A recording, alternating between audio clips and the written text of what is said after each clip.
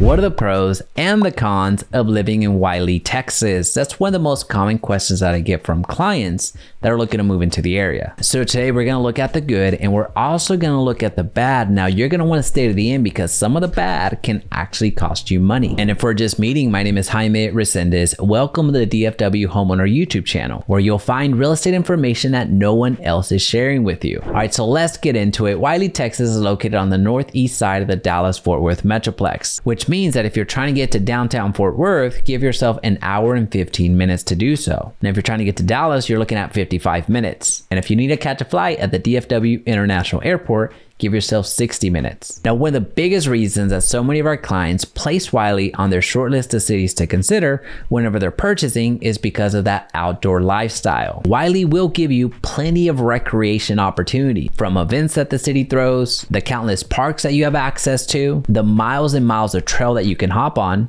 and of course the incredible lakes that are right at the border. So if you're an outdoors person that needs to spend some time outside, you need to check out Wylie. Now the second pro to Wylie is the incredible school system. Wylie schools consistently outperform its neighbors and consistently outperform many of the districts throughout the Metroplex. Now, given that I'm a real estate professional, there's certain topics that I'm not able to elaborate on, which this is one of them. So I'll link up some helpful resources down in the description for you to check out. Now, the third pro to Wylie is one that's not going to be around forever, and that's all the new construction homes. We are big fans of new construction homes here on this channel because of all of the incentives that you get as a home buyer when you purchase a brand new home. And in Wylie, you're going to have plenty of options to purchase a a brand new home from a reputable builder that offers insane incentives. The houses that are being built in Wylie right now are absolutely elite. So that's why we had to put this in the pro section because there's so many good things happening. And by the way, if you're finding value in this video, let me know that you're here by commenting Wylie down in the comment section. Because now when you talk about some of the downsides, what are the cons of living in Wylie? One of the first things that comes up with our clients in our buyer discovery calls is the traffic situation.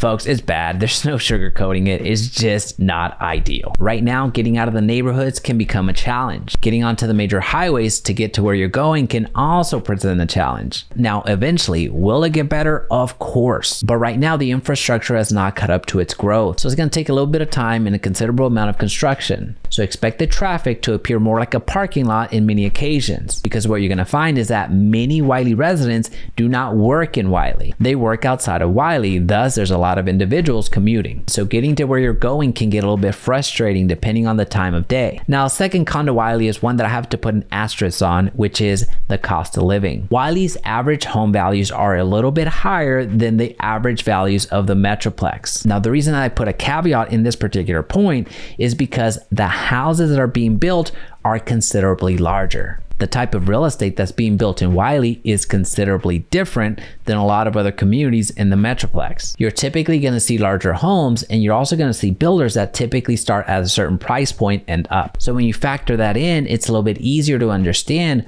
why the prices are the way that they are. Now, another downside of Wylie is the entertainment scene. You're not going to really have a lot of dining options, shopping options, and you're certainly not going to have any nightlife. For those types of entertainment options, you're going to find yourself going outside of Wylie to enjoy them. Now, overall, the reason that so many of our clients choose Wylie over all the other cities is because of the outdoor lifestyle all the new construction that's going on in the incredible school system, which is why we at the DFW Homeowner YouTube channel give Wylie a 4.2 out of 5. So if Wylie has piqued your interest and you will learn more about the city all the way back to when it was founded, check out this video right here. Or if you're ready to check out some Wylie real estate, check out our list of preferred homes linked down in the description.